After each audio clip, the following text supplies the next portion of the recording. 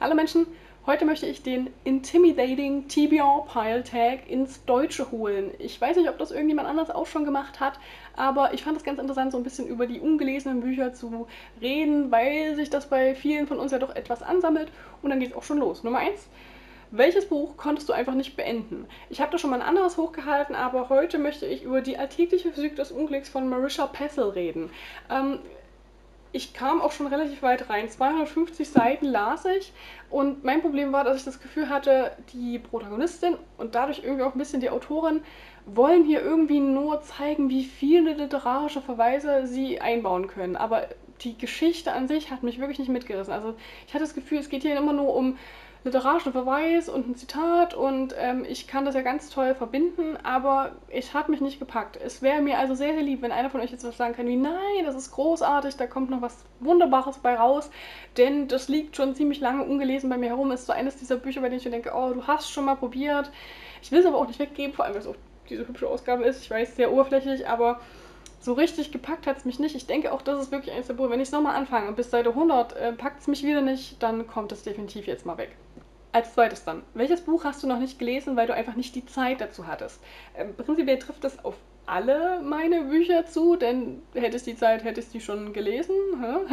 Aber ich habe mich jetzt mal entschieden für äh, Atonement von äh, Ian McEwan, denn das ist noch so neu, weil ich es mir erst im Urlaub gekauft habe. Also da kam ich einfach wirklich noch nicht dazu. Ich habe zwar einen Leseplan für den Juni so ein bisschen, aber da habe ich mich für das andere Buch entschieden, was ich ebenfalls in Schottland gekauft habe und deswegen kam ich einfach noch nicht zu dem, aber das, ja, irgendwie trifft das natürlich auf alle meine Bücher zu. Nächste Frage. Welches Buch hast du noch nicht gelesen, weil es eine Fortsetzung ist? Und das trifft auf den Schwalbenturm zu. Das ist der, der vierte Teil der Hexerreihe und ich besitze den dritten noch nicht, aber das hier ist ein Menge-Exemplar. Da dachte ich, ach komm, du willst die Reihe sowieso lesen, kannst du den vierten auch schon kaufen und müsste mich halt mal an den dritten erstmal machen. Als viertes dann, welches Buch hast du noch nicht gelesen, weil es brandneu ist? Und bei mir trifft es auf Der Ort, an dem die Reise endet von Yvonne Adiambo Ovuur zu.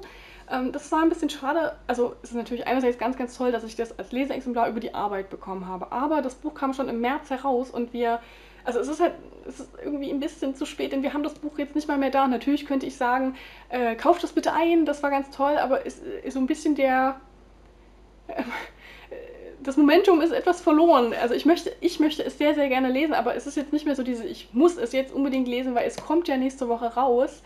Ähm, ja, war ein bisschen schade, aber für mich ist es noch brandneu und ich freue mich schon drauf, denn äh, ein bisschen mehr in andere Kulturen hineinschauen, das kann nie schaden. Als nächstes dann, welches Buch hast du noch nicht gelesen, weil du ein anderes Buch vom selben Autor las, was dir nicht gefiel?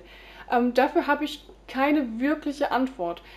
Denn alle Autoren, die jetzt noch ungelesen bei mir rumliegen, ähm, kenne ich entweder noch gar nicht oder ich las etwas, was ich eben gut oder zumindest okay fand. Ähm, was der Frage so am nächsten kommt, ist vielleicht diese Biografie über Lewis Carroll, denn das ist in derselben Ausgabe äh, erschienen wie die von Antoine de Saint-Exupéry, die ich halt überhaupt nicht mochte. Aber es ist ein anderer Autor. Trotzdem habe ich aktuell so nicht so das Bedürfnis. Ich dachte mir, oh Gott, damit hast du jetzt keine guten Erfahrungen gemacht, äh, lässt es erstmal ruhen, ähm, obwohl es natürlich ein ganz anderer Schreibstil vermutlich sein wird. Ähm, ja, aber eine Antwort. Äh, aber eine andere Antwort. Aber eine andere Antwort habe ich leider gerade nicht. Sechstes dann. Welches Buch hast du nicht gelesen, weil du einfach nicht in der Stimmung dafür warst? Und dafür habe ich eine seltsame Antwort, für mich zumindest. Es ist der Archipel Gulag. Ähm, und ich glaube, das wird eines der Bücher, die ich liebe.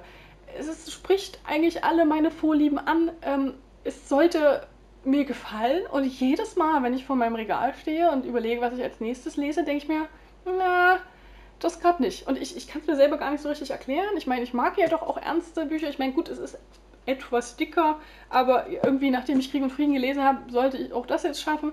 Ähm, kann es mir selber nicht so richtig erklären, aber äh, irgendwann wird es auf jeden Fall drankommen, dass ich glaube, dass es so ein, ein wichtiges, ein tiefes Buch sein wird, was mich eventuell auch verändern wird oder was zumindest sehr, sehr nahe gehen wird. Also irgendwann.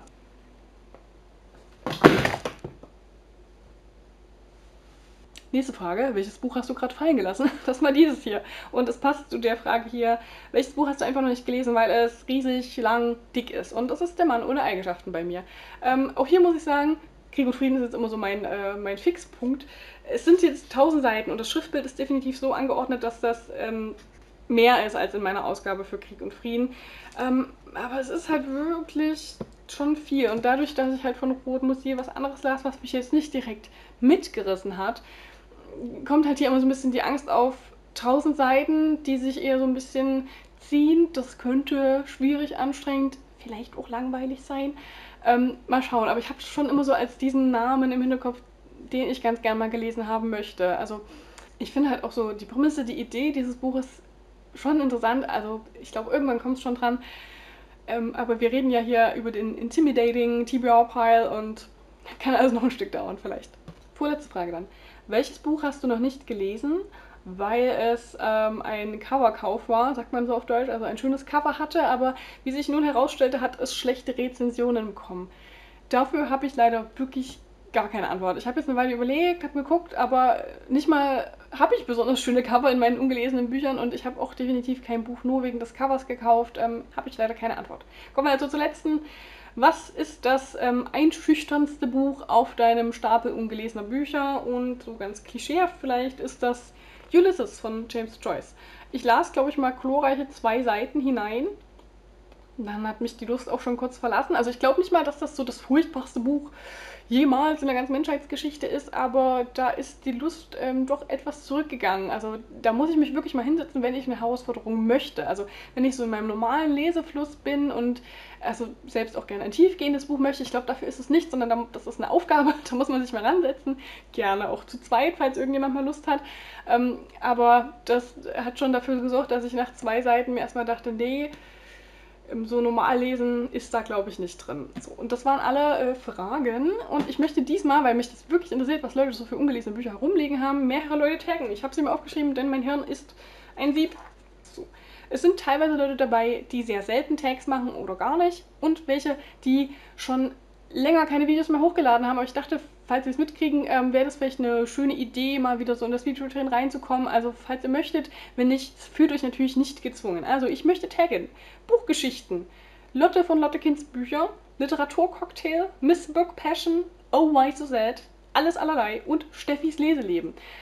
Von euch interessiert mich das sehr, eigentlich auch von allen anderen. Also falls ihr möchtet, bitte gerne, fühlt euch auch von mir getaggt. Ähm, ich finde es eigentlich einen interessanten Tag, dass man sich auch mal so ein bisschen bewusst macht, was liegt denn da so rum und was ignoriert man denn die ganze Zeit. Und ja, dann danke ich euch heute fürs Zuschauen. Ich freue mich, wenn ihr etwas zu den Büchern zu sagen habt. Vor allem sowas wie Lies es, Lies es, denn das sind ja doch die Bücher, ähm, die so ein bisschen herumliegen. und ansonsten hoffe ich, wir sehen uns das nächste Mal. Macht's gut!